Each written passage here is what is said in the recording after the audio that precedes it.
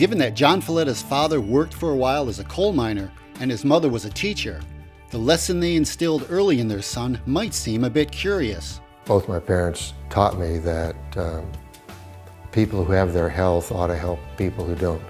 It was kind of a part of my background. It was a part of how I was raised. So from the first grade on, Falletta knew he wanted to be a doctor and eventually found his calling in pediatric hematology oncology. In pediatrics, I learned that both working with children, which was something I could do easily, and working in the field of pediatric hematology oncology, both really stimulated me. I felt there was a role for me there. Throughout most of his career, Falletta's main focus has been working with children with cancer. I felt there was something that I could do to help these kids. And help he did. During his more than three decades at Duke, Falletta brought a fresh approach to the medical management of children with cancer and leukemia, earning national and international praise as one of the best doctors in the world for pediatric oncology care. Said former patient Brian Stewart recently, who was treated by Falletta as a six year old. 31 years later, I'm still here. And, you know, I'm, and I'm just one, one of hundreds thousands uh, of children who have been able to live a life past cancer because of Dr. John Falletta. Falletta also helped to establish a new standard of care for sickle cell anemia, and with Duke's Thomas Kinney, influenced the implementation of routine newborn screening for it. They also developed protocols to answer research process and funding questions and recruit subjects for studies.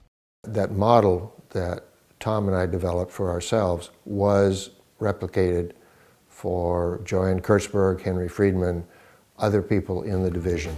In addition to being senior chair of the Duke Health System Institutional Review Board, Falletta's contributions have reached far outside of Duke's walls.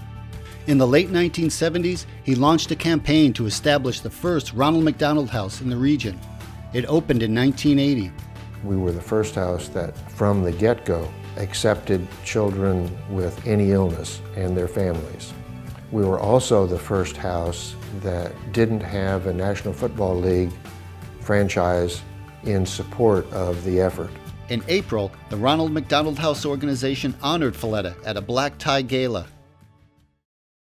Falletta and his wife Carolyn have two children who both live in California. Immediately after he retired, Falletta did something he hadn't done in two decades. I got a library card. I'll read for pleasure, I'll read to keep up in my field a little bit. He and Carolyn have an impressive yard with sculptures and multiple gardens, which he will gladly tend to in retirement. I love to garden. Absolutely love to garden.